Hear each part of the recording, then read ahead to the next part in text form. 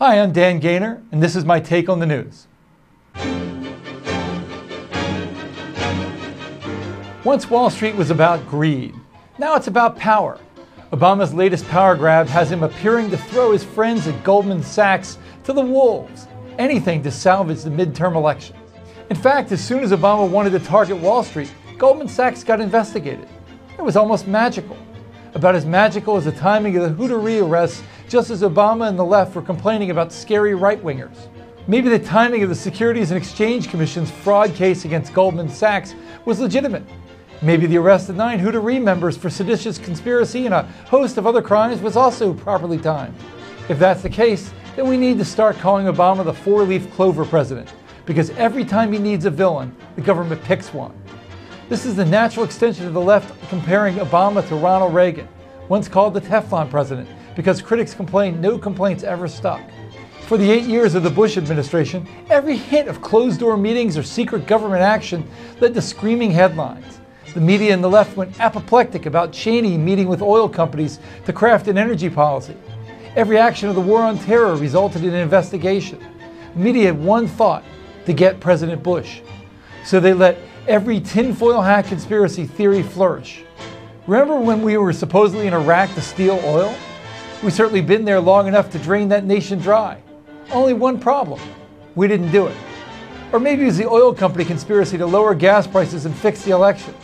CNN's Jack Cafferty was just one of many media voices to say, You know, if you were a real cynic, you could also wonder if the oil companies might not be pulling the price of gas down to help the Republicans get reelected in the midterm elections a couple of months away. That conspiracy was also proven bogus when gas prices didn't plummet until after the 2008 elections. But the mere fact that the media were taking that lunacy seriously shows just how any coincidence inspires journalistic interest under the right circumstances.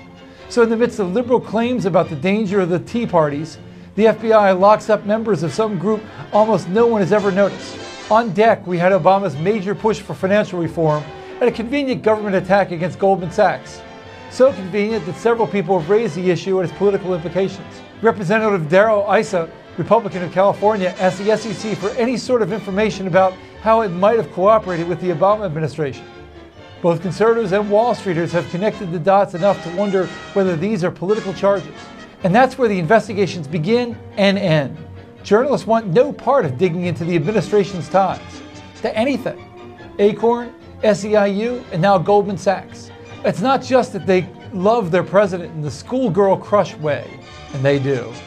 It's also they fear it. They worry Obama won't do them harm, he'll do even worse deny access. Look at this administration's pathetic history of dealing with the press. Reporters from papers that endorsed McCain got kicked off the campaign plane. Media opposition like Rush Limbaugh, Sean Hannity, and Matt Drudge got targeted by the White House.